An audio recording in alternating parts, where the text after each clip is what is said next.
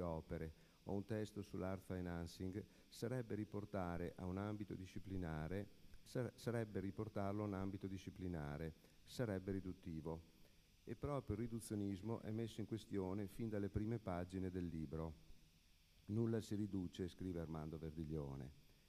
La riduzione è ontologica, toglie, assegna, simbolizza il resto, il resto metaforico o del simbolo, il resto metonimico o della lettera e il resto della cifra, la cifra come restituzione.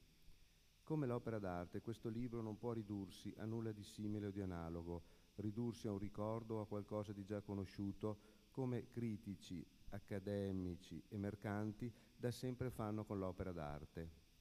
Per questo possiamo chiamarli osservanti, perché il loro impegno sta nel costituire e nel chiudere l'arte in un discorso, senza resto, in una serie di rapporti sociali cui conformarsi e conformare l'arte. L'arte deve conformarsi al mercato, la vendita deve sottoporsi ai valori artistici, il fine dell'arte può giustificare la vendita con tutti i mezzi, il resto impedisce la finalizzazione e l'arte, la scrittura, la vendita, l'arte, la scrittura, la vita stessa esigono questo resto inosservabile, inassegnabile, che già 35 anni fa Verdiglione definiva non semiotizzabile. Un resto non analizzabile che comporta che ciascun elemento sia analitico. Scrive Verdiglione, nessun elemento è inanalitico, ovvero non c'è più resto diurno. L'elemento è intellettuale, il resto è intellettuale. Fine della citazione. L'incontro non può essere finalizzato alla vendita. La vendita riesce quando non c'è più il fine, tantomeno la fine dell'incontro. La finalizzazione rincorre l'origine, per questo è così naturale. Per questo Verdiglione scrive, la questione è come il mercato dell'arte si sia ispirato al naturalismo, al discorso occidentale, al discorso della morte da qui vendere arte è come vendere una qualunque cosa naturale, naturale quindi umana, virgolette. Seguivano il naturalismo le commissioni delle opere agli artisti dei papi e dei principi, Segu- seguono il naturalismo gli accordi tra mercanti nel Novecento e tra essi critici per stabilire i prezzi della commercializzazione. Seguiva il naturalismo la dicotomia, che proviene dall'ideologia illuministico-romantica, tra valore estetico e valore commerciale dell'opera. Il primo presunto appannaggio del critico, sapiente incontaminato dai soldi, il secondo dal mercante, remida disinteressato alla cultura. In questa dicotomia il primo, il critico, era funzionale al secondo, il mercante, che appunto doveva foraggiarlo, in un combinato disposto, in un animale fantastico, disegnato dalla continuità circolare tra prostituzione sacra e profana ovvero tra valori ideologici e ideologie di mercato. Questo fan- animale fantastico avrebbe dovuto regnare sul mercato per ipnotizzare il cliente, finalizzando l'opera al profitto attuale di chi vende e futuro di chi acquista, il consumatore soddisfatto, il cannibale sempre da saziare, il cliente professionista di una vendita che Verdiglione definisce supposta sostanziale. In effetti si tratta qui di ciò che lui definisce, citazione, vendere il conformismo, includere il cliente nel conformismo. Perché conformismo?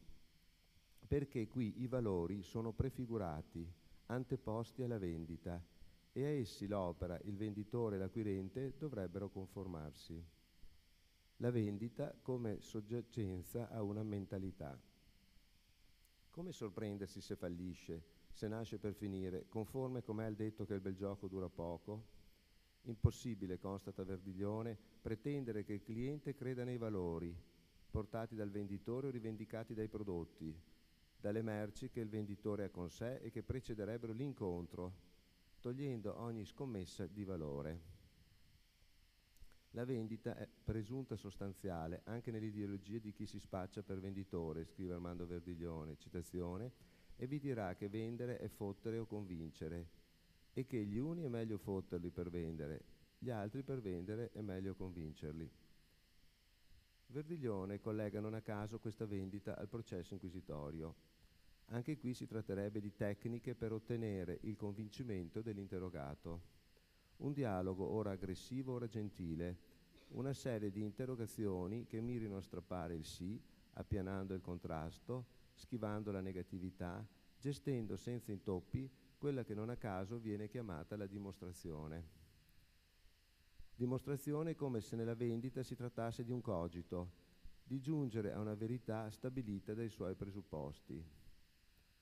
È questa la vendita come fine, la vendita che procede dalla corretta comunicazione, in cui dunque la parola è intesa come sostanza che il venditore sarebbe bravo a spacciare, farmaceuticamente, ovvero con la parola come rimedio e come veleno e con essa anche l'arte diventerebbe rimedio o veleno.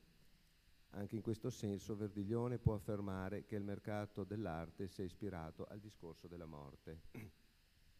Ma allora come vendere senza naturalismo? Esiste una vendita che non si ispiri al discorso della morte? La questione che Verdiglione sottolinea è che nulla si comunica se non si vende. Dunque che la comunicazione procede dalla vendita, non la vendita della comunicazione.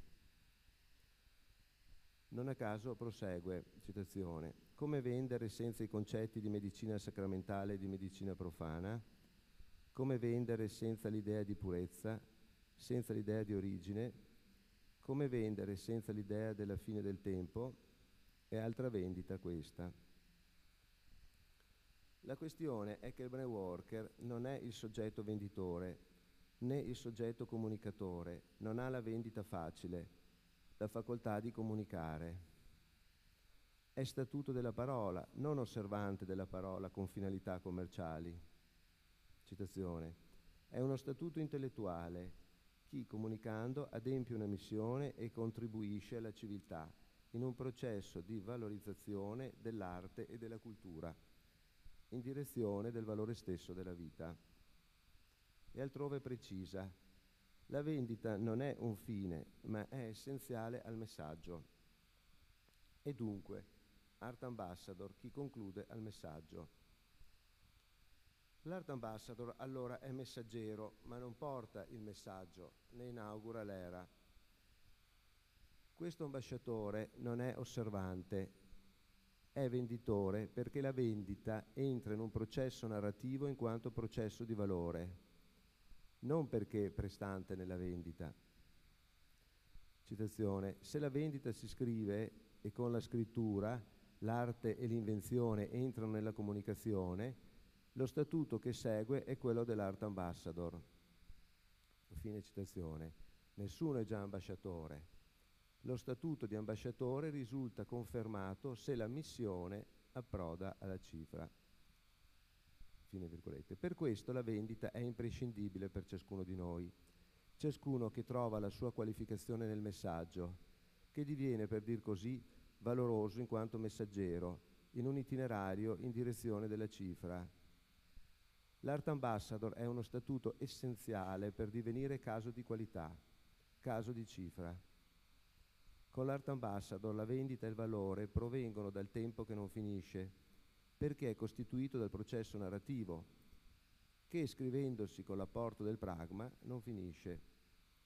Mentre lavorare per un fine, anche presunto nobile, e quale non è presunto tale, è limitante, sostanziale, mortifero, senza valore. Dal Rinascimento all'era dell'Art Ambassador il valore non è insito nell'opera né imposto dal mercato, non è determinato dal fine eroicamente né dall'interesse del cliente. L'interesse è proprietà del sembiante, come scrive Verdiglione, non segno dell'essere e dell'intersoggettività, dell'ontologia o dell'agnosi. L'interesse del cliente blocca la vendita. Il cliente interessante invischia il venditore. Illustrare l'interesse dell'opera può essere utile, ma non si tratta, scrive Verdiglione, citazione, di tramutare in manifesto ciò che talora viene chiamato dai tecnici latente. In effetti non è l'oggetto che si vende e non ci vuole molto tempo per vendere. Sembra strano, ma Verdiglione lo ribadisce scrivendo la vendita è intransitiva. La cosa non è ideale, bensì una constatazione pragmatica. C'è vendita nell'incontro perché nel racconto l'oggetto e il tempo non sono venduti, sono venditori, nel senso che l'interlocuzione giunge alla vendita perché non obiettiva l'oggetto e non taglia corto o spazializza il tempo. Citazione, la vendita senza tabù viene dal tempo innegabile, dall'infinito e dall'eternità del tempo e chi chiude non conclude. Nota efficacemente Verdiglione e prosegue, l'assenza di risultato preserva e salva l'anima candida. Allora il valore non è prima dell'incontro, interviene nel processo narrativo, si specifica nell'incontro. Per l'Art Ambassador la vendita è un aspetto essenziale della valorizzazione dei prodotti, dell'esperienza, della vita stessa. Per questo nell'incontro c'è una scommessa di valore, non un valore ontologico. L'arte e la cultura sono arte e cultura narrative, scrive Verdiglione. Per questo l'opera stessa, in qualche modo, non esiste prima del racconto, non è un prodotto finito. Un prodotto, se finito, non si vende. Altra cosa dalla fine è la conclusione, che il fare esige, come istanza finanziaria, come istanza dell'avvenire. Qui si gioca per ciascuno la partita decisiva, e, citazione, la partita è pragmatica finanziaria. È la partita della vendita della comunicazione, la partita per cui la verità non può essere data dalla forma del senso del sapere, la partita per l'edizione, per la lezione. Fine della citazione.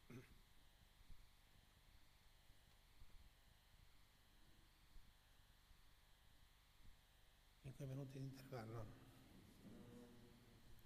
5 minuti, eh, basta, è il contrario. E dall'arte ambassador la vendita dell'arte. Eh, eh. Mm. Allora.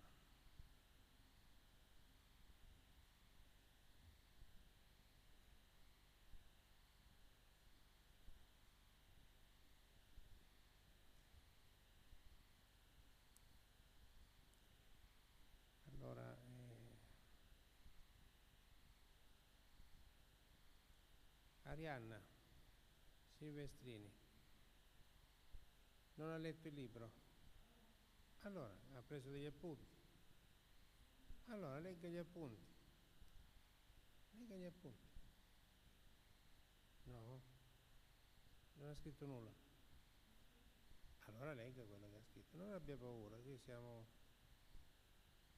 tutti fuori di noi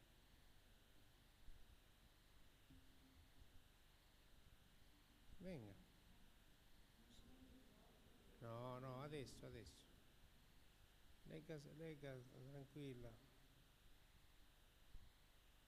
Sì, sì. Poi pomeriggio leggerà un'altra cosa.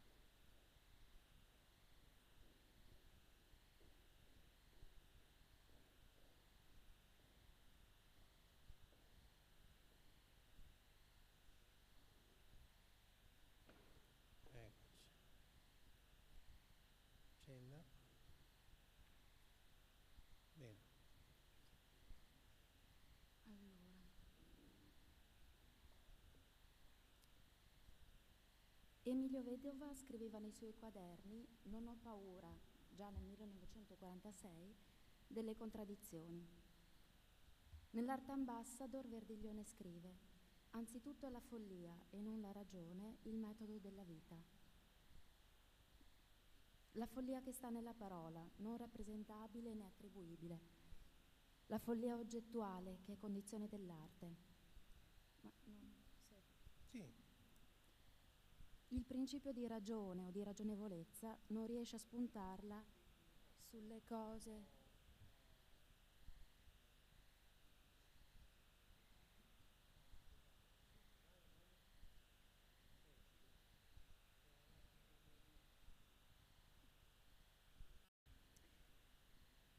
Il principio di ragione o di ragionevolezza non riesce a spuntarla sulle cose della vita Gli schemi di padronanza e le briglie del fatalismo tentano di sbiadire il colore e l'ostacolo, tentano di armonizzare il contrasto e la contraddizione. È la paura dell'arte. Padronanza e fatalismo tentano di negare la variazione costante delle cose, tentano di negare la prosodia, la rapsodia e la melodia, scrive Verdiglione, ovvero il modo in cui interviene l'avventura. La cifrematica constata che arte è variazione costante, un aspetto della struttura, e artista è uno statuto intellettuale prima che un mestiere. È uno statuto narrativo che si avvale della sensazione del lutto impossibile e originario, della sensazione del dolore impossibile ed estremo, della sensazione della verità senza accesso diretto, per giungere all'estetica, alla poetica e alla periegetica. Verdiglione scrive nel libro Artisti. Ciascun artista ha la sua favola che lo mantiene nella produzione, produzione costante, assenza di rispetto delle cose come tali. Nel terzo capitolo dell'Artambassador aggiunge, scrive, evitare l'immagine, quindi la sembianza, nella narrazione è impossibile. Nella narrazione è impossibile evitare l'immagine, ovvero l'immagine non è questione di visione né di presenza, non è visiva né rappresentazione, non è forstellum e non ha bisogno di identità a cui aderire o da distorcere. Come mettere in rilievo l'immagine nell'arte, nella narrazione, nella comunicazione? È un interrogativo che interp- interpella gli artigiani dei mestieri della parola, gli artisti in quanto scienziati, gli intellettuali in quanto ricercatori provocati dalla carne. La scienza a cui si attiene l'artista, precisa Verdiglione, è la scienza della parola, la scienza che ha come unica e lussuosa fondazione la parola, la scienza della logica particolare in direzione della qualità. Come potrebbe attenersi l'artista in modo originario e senza idea di consapevolezza, eh, in modo originario ad altra scienza? L'esito forse sarebbe non l'arte ma il metalinguaggio, un linguaggio circoscritto all'epoca dei presenti assenti, senza infinito. Lo stesso vale per il gallerista, per il committente, per il collezionista. L'arte non è staccata dalla scienza, non è subordinata alla scienza, non è avulsa dalla scienza, scrive Verdiglione. La produzione artistica esige precisione scientifica e linguistica esige anche l'articolazione del dialetto, la lingua sessuale un itinerario a partire dal glossario fino al nuovo lessico, fino all'edizione. Eh, scrive Vedova, l'arte è all'infuori del tu di che partito sei, citazione di Vedova, minimal gestuale, povera, land art, concettuale, e si parla di arte d'avanguardia, di fine. L'arte è sempre altro. Verdiglione scrive, arte e invenzione non rispettano la società confermistica e poi chiede, quali artisti negli ultimi 50 anni in Italia si sono sottratti alla definizione ideologica? Ci interroghiamo su quali siano i criteri con cui si costituiscono le collezioni. Il museo e, le, e, la collezione si qualificano come modo della scrittura della memoria, come formalizzazione dell'esperienza, senza concetti, perciò senza purismi, eh, sono appunti, in alcune circostanze la collezione, il, il, criterio con cui viene costituita la collezione eh, sembra essere quello, l'idea della fine. La collezione garantirebbe dall'oblio, sarebbe lo strumento per ricordare, per essere ricordato, per restare. Sarebbe la collezione a partire dall'idea di fine, senza semina, senza raccolta e senza restituzione. Così il gusto personale si dimostrerebbe un modo di negare la generosità e la restituzione. Senza più idea di fine, la pittura, il video, il disegno, l'installazione, persino la cosiddetta performance, procedono da una traccia immemoriale e si scrivono nel libro di valore. Anche per il collezionista, come per il gallerista o per l'artista, il metodo non è il principio di ragione o di ragionevolezza. Non c'è collezione galleria senza follia come condizione, follia oggettuale. Il demone non è prendibile, salvo esercitarsi nelle bizze dell'indemoniato. Vale ciò che dura o vale ciò che si scrive? scrive Verdiglione. È una domanda che interessa anche il gallerista, come il cosiddetto mecenate, come il committente. Il gallerista e il committente sanno quello che sa e scrive l'editore Verdiglione, pagina 143. Nessuna conclusione senza forzatura. E poi ancora, impossibile anteporre il valore al profitto, salvo dare al valore un contenuto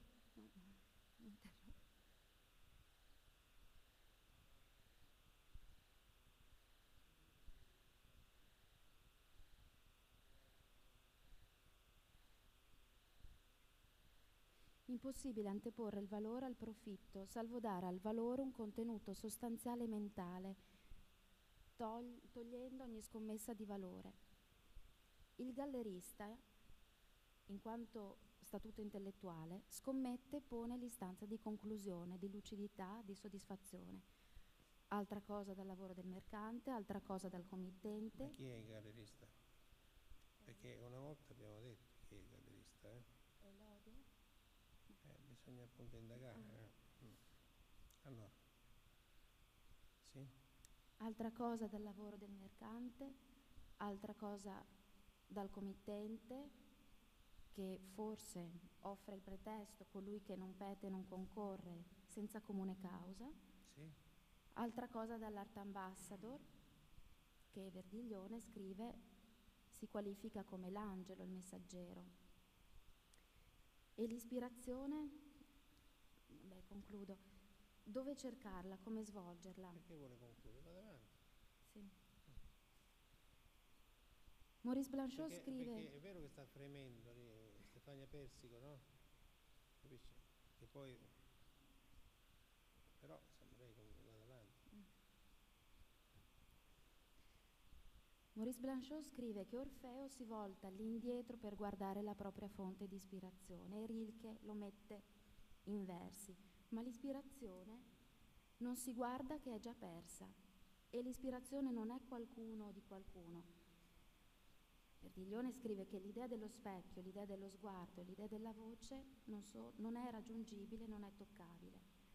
Camminando L'ispirazione interviene come idea che opera in direzione della scrittura e in direzione della pittura, che nel libro Artisti leggiamo si qualifica come condizione della poesia, della stessa scrittura dell'esperienza. Eh, no, questo, questo. Ah, il resto del pomeriggio? Il resto Sì. lo legge al pomeriggio? Sì. Va bene, il resto lo legge al pomeriggio. Sì, dobbiamo dare la possibilità a, a Stefania Persico che si la, la- che dedica tutto il suo tempo al ballo delle anziane. Prego. Prego, prego. No, no, prego.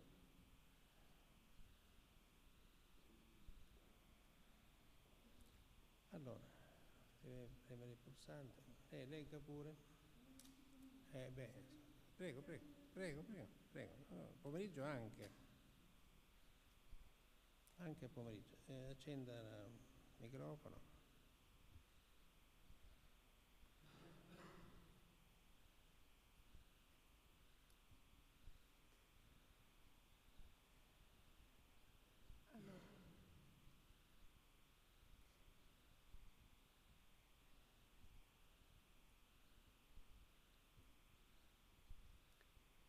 Allora, io mh, mentre ero in treno, mentre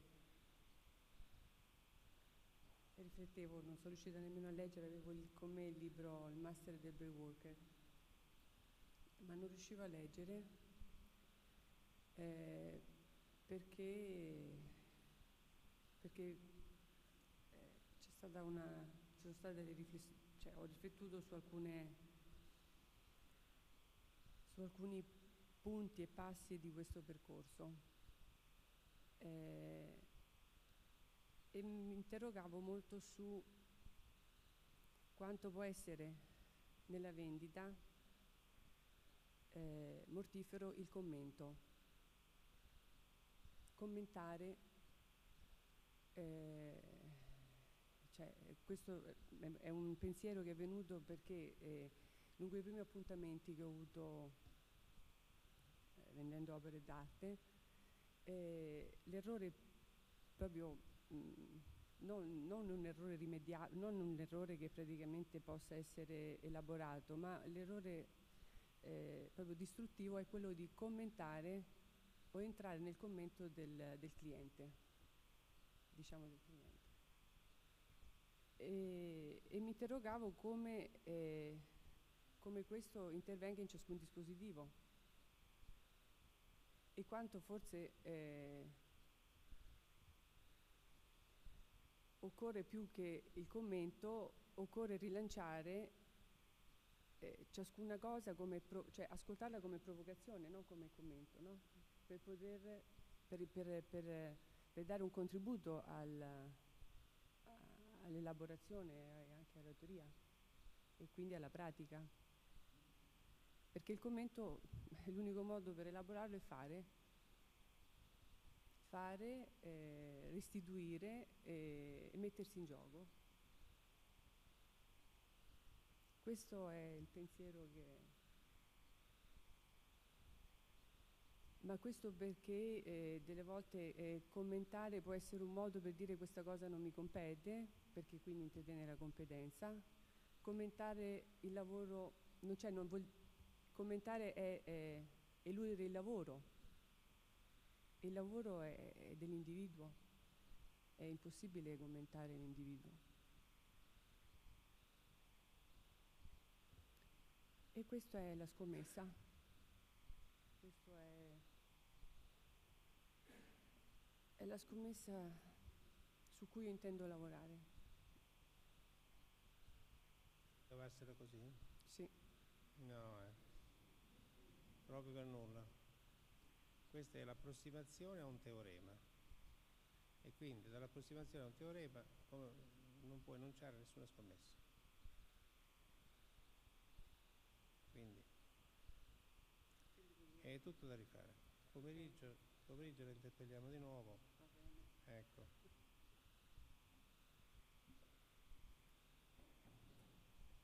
Eric.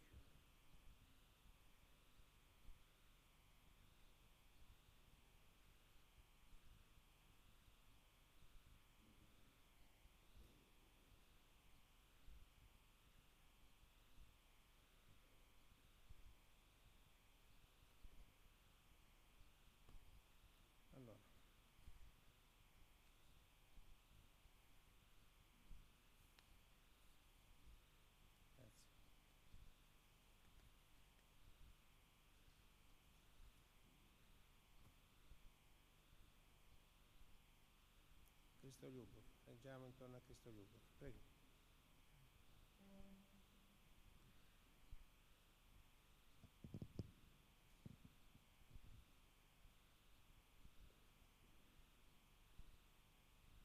Prego.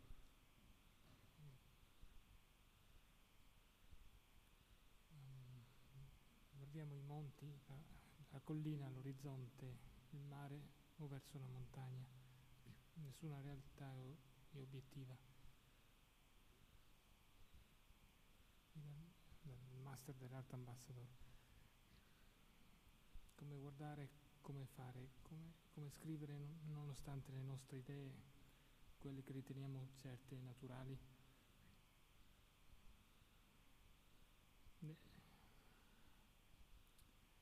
Le nostre idee non, non sono obiettive, no? Eh, mm, sì. Ma sì, non sono obiettivi ma pensano... No. Va bene, è giusto, non sono obiettivi, poi nemmeno soggettivi. Ah, le nostre idee. E... Le nostre idee, certo. Non possono essere una realtà obiettiva, insomma. Sì idee naturali proliferano, per dir così, si, sono escluse dal viaggio, dalla narrazione. E non sono non sono più naturali nell'opera di ingegno. Giusto. Non sono naturali. L'opera, l'opera di ingegno è naturale, appartiene alla natura o trova nella natura la sua causa. I monti, la collina, l'orizzonte, il mare sono la natura, sono elementi della narrazione, della memoria in atto. Non sono da commentare perché sono irrappresentabili. Non sono presenti con tutte le nostre idee.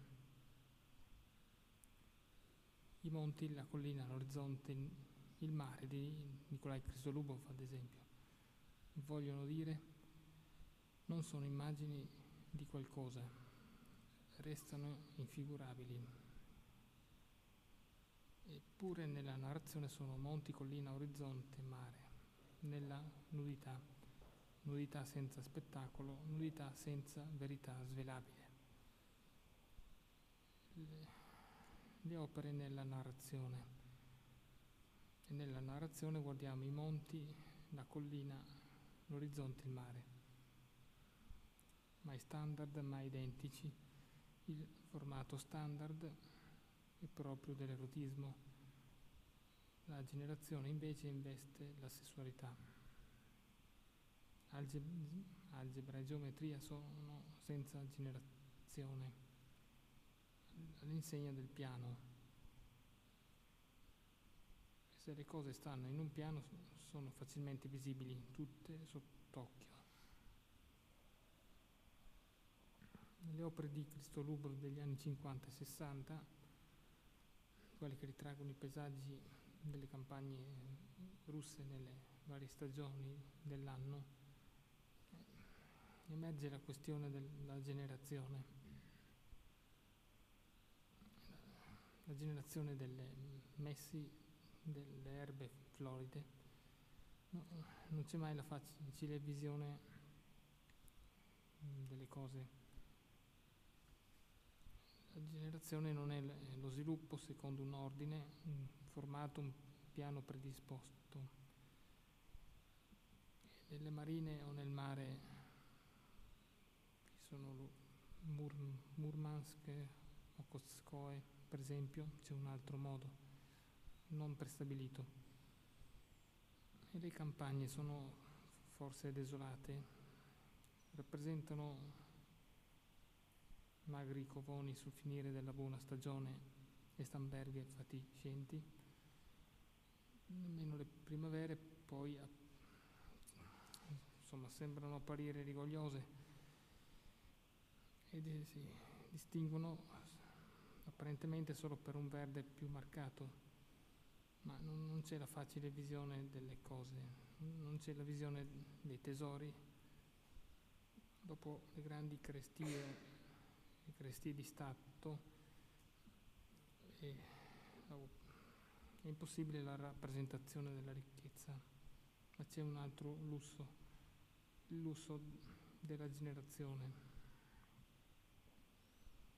Sono queste opere che ritraggono paesaggi che si trovano nel lusso, il lusso del dipingere, ben oltre i problemi del partito di cui Nicolai è indifferente, come racconta Armando Verdiglione. I ritratti senza antropomorfismo non appartengono, non partecipano e non condividono nulla dell'umano. Le usure della parola impediscono l'antropomorfismo, figurabile e il rappresentabile.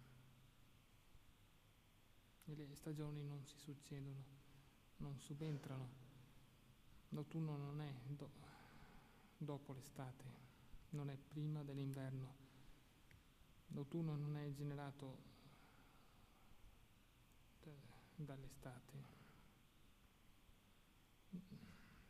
Si potrebbe azzardare guardando l'opera dai covoni insomma, apparentemente de, de, insomma, denutriti nell'opera Autunno nella regione del Volga. C'è una generazione che non dipende dalla precedente La generazione non dipende da quello che starebbe prima, perché prima non c'è. La tradizione non sta prima, la mem- memoria non sta prima. La parola non sta prima dell'azione, la memoria narrante.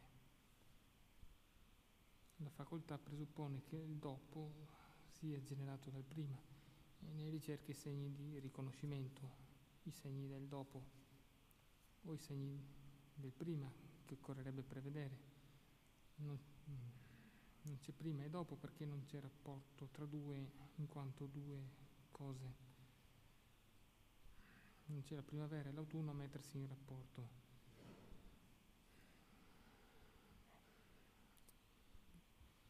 I magri covoni dell'autunno del... non possiamo immaginarci un inverno da fame.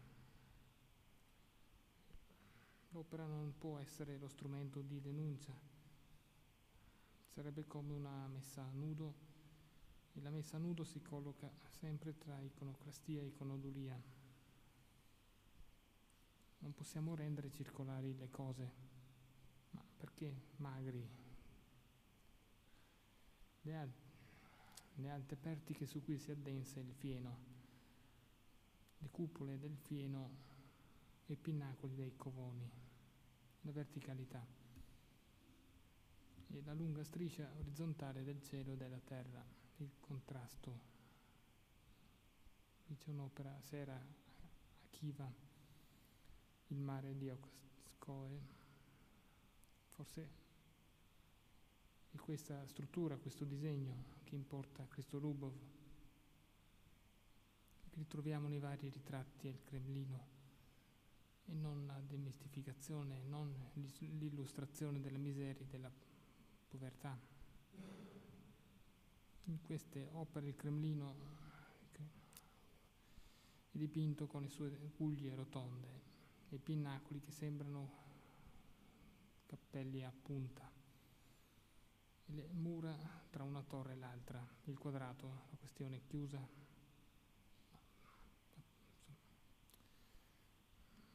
Ma l'invenzione di Cristo Lubov è proprio quella di evitare il disegno del quadrato, non fa quadrato. Sul torrione in primo piano si inventa varie pennellate orizzontali, come anche nella pagoda buddista. Non c'è una verticalità totale, non c'è una celestialità totale del potere. C'è un, No. E, insomma, la verticalità e, orizzontalità non vengono prima e dopo, no? non si scontrano, si incombinano in un'invenzione. Di questa invenzione si nutre l'opera. Possiamo azzardare che l'autunno si combina con l'inverno, allora abbiamo varie pagine varie opere come pagine di un testo, come anche annota Salvatore Daddario, parlando dei suoi ritratti agli artisti. E allora, se non c'è successione ma combinazione, non c'è competitività.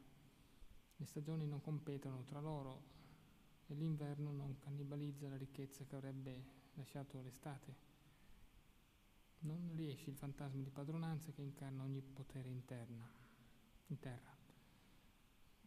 Non c'è cannibalizzazione perché le ricchezze non sono tesori, non sono frutto dell'analità. La generazione non è anale, le ricchezze non sono i miei tesori che deriverebbero dall'economia del peccato, del male, dell'incesto. C'è la ricchezza non evidente, non esibita nel testo di Cristo Lubov. E forse è proprio l'assoluta assenza di rivendicazione che ha fatto sì che questo pittore potesse lavorare in, in, Russia e addirittura viaggiare in Italia nell'estremo oriente. Non non c'è rivendicazione, vale a dire che non c'è la rappresentazione del debito totale, della dipendenza, no, non c'è in altri termini la rappresentazione del formalismo, dell'immagine canonica, pur ritraendo paesaggi apparentemente naturali. Non c'è rivendicazione, impossibile attribuire il rigetto al soggetto se non per escluderlo dal gruppo. Sarebbe un ritratto umano, una pittura facile. Accade che ci sia chi faccia vedere di essere di ampie vedute, di ampi sentimenti, di ampia intelligenza e sia disponibile per di più. Ma questa grande apertura in effetti è la chiusura. Basta solo l'enunciazione di una leggera obiezione o appena un dubbio perché venga decretata l'esclusione. Ben oltre le ampie vedute un istante prima decantate. Non c'è rivendicazione nella vita particolare a ciascuno. Impossibile appartenere, partecipare o condividere la vita e mettere al servizio del cambiamento del mondo. L'arte non è servile, la cultura non è un meccanismo nell'organismo del mondo, come propone il realismo convenzionale e comune tanto amato da ogni potere.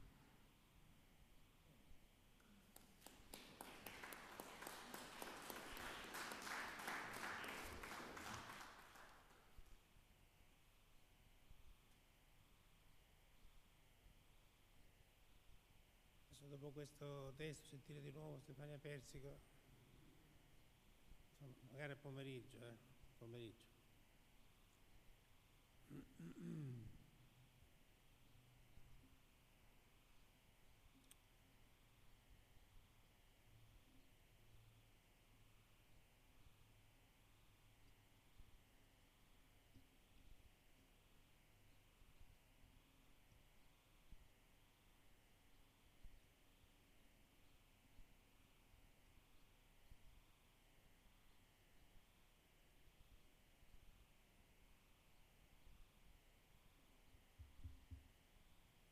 Allora, pomeriggio cominciamo con la dottoressa Costa. Poi dopo, dopo avremo tempo di sentire Stefania Persico perché lei è troppo impegnata nel ballo delle Befane. Ok, grazie. Alle due e mezzo precise. La Stefania Persico mi si è riservata di fare il suo intervento oggi pomeriggio. E poi chi è intervenuto ancora? Mm? Cyril, Cyril che non aveva redatto ancora il testo, però aveva letto alcune cose, aveva esposto alcune cose, adesso non c'è. E poi chi? Eh? Dalla Valle, l'ho già, detto?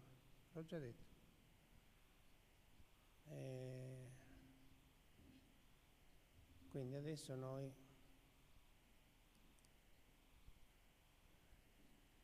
noi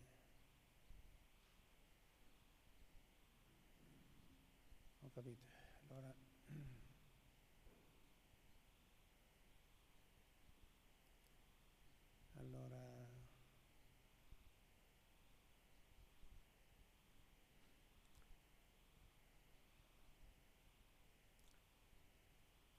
sentiamo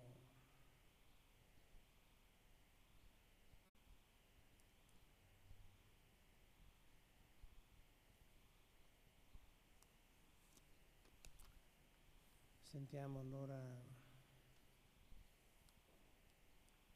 la dottoressa Elisabetta Costa come avevamo stabilito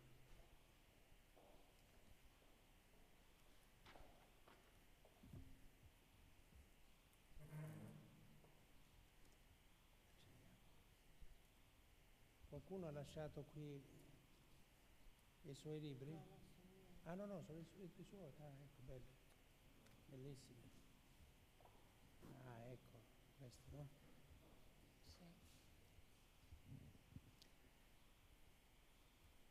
Allora, La vendita. L'articolo 1470 del Codice civile pretenderebbe di dare dalla nozione di vendita.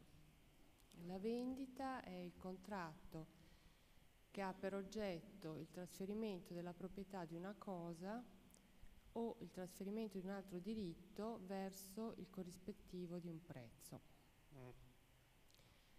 Nella quarta lezione del Master dell'Art Ambassador si legge è il nudo attinente all'anatomia e al tempo la base della vendita e anche della sua scrittura, la base della pornografia. Il nudo è proprietà del narcisismo, fine citazione, quindi è proprietà della cosa. Dunque la cosa non si vende, anche perché la proprietà non è della cosa, ma è proprietà intellettuale, che non si trasferisce, a meno di leggere il trasferimento come transfer e dire che la cosa è in viaggio. La cosa è in viaggio, il narcisismo è della parola, da qui la vendita. Cosa si vende? Citazione.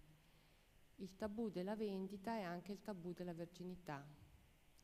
È per purismo che la vendita diventa tabù dal secondo rinascimento, la rivista. Se il sì e il no sono fiori del tempo, citazione, la vendita è il frutto del tempo e quindi dell'impresa e si rivolge all'estremo prodotto, cioè alla qualità. Il prodotto sta, per dir così, oltre la vendita, oltre la conclusione, oltre il piacere. La vendita di sé nega qualcosa di innegabile, nega la giustizia di sé. La vendita dell'altro espunge qualcosa che non si può espungere, nonostante il principio del terzo escluso e il principio di selezione, e cioè il diritto dell'altro. Esplorare la vendita comporta esplorare prima di tutto la giustizia e il diritto. E il diritto è costituito dalle sue virtù, la generosità, quella per cui voi siete qui oggi, quella per cui nessuno toglie nulla all'altro e nessuno aggiunge nulla all'altro. L'indulgenza, ciò che ha comportato l'era moderna. E poi l'umiltà, ovvero dell'altro nessun segreto, nessuno svelamento, nessuna messa a nudo, nessuna giustizia dell'altro. La vendita propria del tempo è anche l'ascolto. Umiltà, disposizione alla vendita, disposizione all'ascolto dalla rivista Per ragioni di salute. La quinta lezione del Master dell'Art Ambassador comincia così. Che cosa si frappone all'instaurazione dell'Art Ambassador? La paura, il fantasma di morte il senso di colpa, il concetto di segreto. In definitiva, la dottrina della vendita come dimostrazione. Tutto avviene come se, attorno alla vendita, sussistesse un cogito, la cui variante è il cogito del figliol prodigo. Godersi il patrimonio, venderlo. Godersi l'eredità, venderla. Anche i beni sono intesi come beni ricevuti, i beni che si posseggono. E allora dilapidare, sperperare, sprecare i beni. Vendo dunque sono. L'acquisto facile, la vendita facile. La facoltà di vendere e di acquistare riportano la vendita alla genealogia. Fine citazione. La variante del cogito del figlio prodigo allude all'atteggiamento del figlio più giovane che dice al padre, Padre, dammi la parte dei beni che mi spetta per venderli. Mentre al figlio maggiore il padre dice, Figlio, tu sei sempre con me e tutte le cose mie sono tue e quindi il figlio maggiore avrebbe l'accesso diretto al godimento dei beni. Quando un padre è in fin di vita, i figli che lo accudiscono vengono accusati dai fratelli di godersi i beni, tra virgolette, sottraendoli alla vendita futura. Effettivamente il godimento dei beni è impossibile, benché il Codice civile all'articolo 832 dia la definizione del diritto di proprietà dicendo che il proprietario ha diritto di godere e disporre delle cose in modo pieno ed esclusivo, perché il godimento nell'accezione originaria è effetto di senso e di dispendio ed è intransitivo. Anche il dispositivo è delle cose, nel senso che le cose si dispongono, ma non nel senso che il proprietario dispone le cose o delle cose. Questo è un concetto marxista.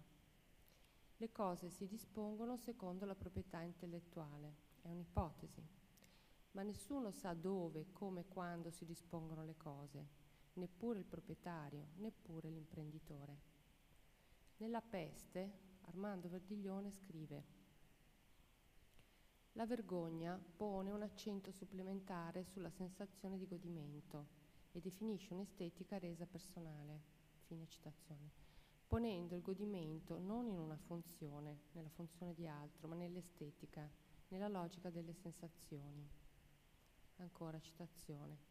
E l'angoscia costituisce il modo di sentire il godimento localizzandolo, delimitandolo, insomma defraudandolo, invano, altro dispendio Cosa può assicurare la certezza di un limite del godimento se esso non può narrarsi e se l'angoscia sfocia nell'incontro? Peraltro con la nausea irrompe la rimozione che non vuole lasciarsi togliere, cedendo magari il posto a un punto fisso, tale da sostenere la pertinenza della serie Rientrando nell'ontologia dello specchio, il dubbio metodico non rimedia alla nausea, cerca di portarla come un abito e poiché non si tratta di un bene, del godimento non c'è diritto, ma imperativo. Fine citazione. E quanto sopra, questo potrebbe rendere ragione del perché nella parabola del figlio prodigo né il figlio più giovane che vende i beni, né il fratello che li gode siano soddisfatti.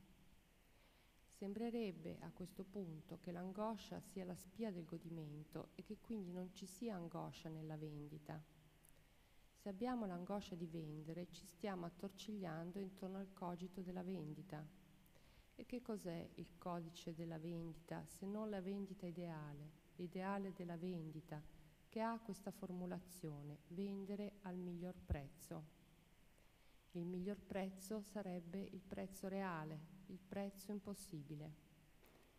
Il prezzo secondo la prova di verità, il prezzo che procede dal contingente, tiene conto e integra il profitto e il valore. Anziché la vendita ideale che sottintende il godimento del venditore o dell'acquirente e porta l'angoscia,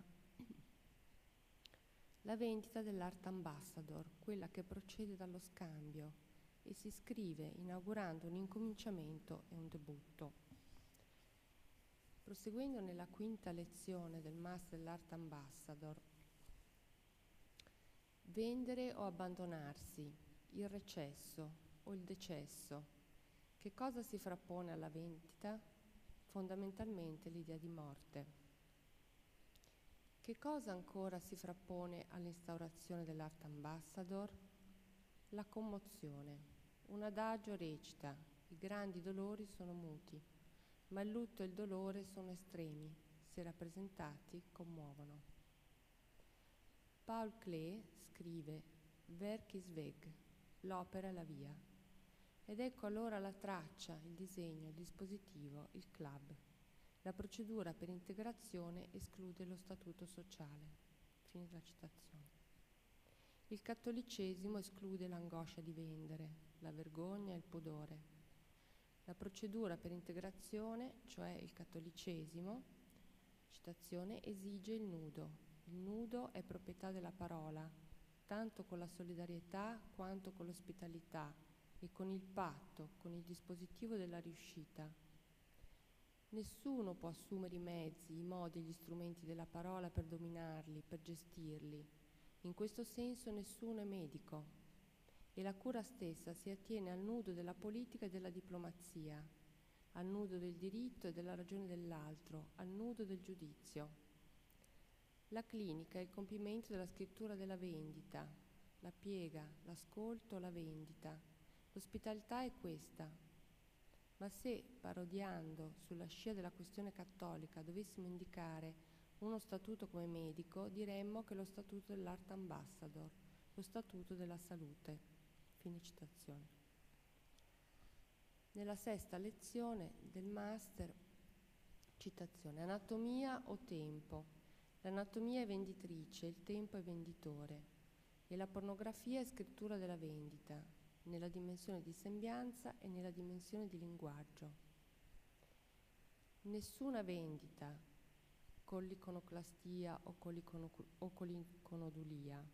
L'androgeno vende nel mondo protestante, nel mondo ortodosso, con l'ausilio delle varie mafie, avverrebbe la vendita neutra, la vendita pura, la vendita ideale, una vendita senza il nudo, una vendita senza la scrittura, senza la parola, una vendita ineffabile. La vendita ineffabile è il do ut des, il rapporto padre-figlio della parabola del figlio prodigo, nella versione algebrica del dammi la mia parte e partì, o nella versione geometrica io ti servo da tanti anni e non ho mai trasgredito un tuo comando e tu non mi hai dato un solo capretto per fare festa con i miei amici. L'algebra o la geometria della vendita, nella migliore delle ipotesi, approda alla commedia all'italiana. Neppure lo scambio della cosa contro il prezzo, la definizione giuridica di vendita, rappresenta il do ut des, perché lo scambio resta senza finalità.